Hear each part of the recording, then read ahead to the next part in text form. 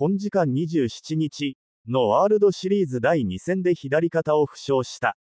試合後にデーブ・ロバーツ監督は、亜脱臼したようだ、と説明。米有識者は、負傷の原因は大谷自身の得意性にあると解説している。画像、マミコさんが撮った写真かな、大谷翔平が試合後に公開した1枚が話題。ピッチング忍者の愛称で知られる米投球分析家ロブ・フリードマン氏が26日、同27日、自身のインスタグラムを更新。翔平の肩の関節か可動性についてと切り出すと、肩の関節か可動性を持つ選手は、肩の関節が比較的簡単に外れてしまうことがある、亜脱臼、と分析した。さらに、私も何人か、そのような人たちを、コーチしたことがあります。一時的に痛みますが、すぐに良くなります、と付け加えた。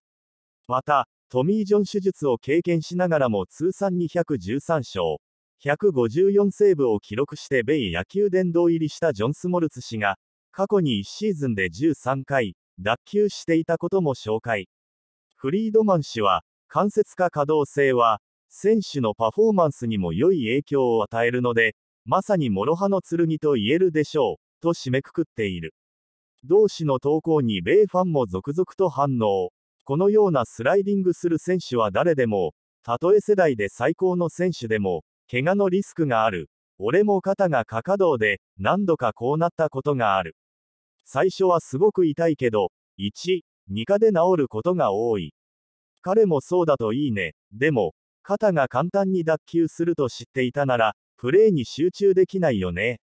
俺は1年間で50回も脱臼した、などとコメントが寄せられている。果たして大谷は第3戦以降も出場することができるのか。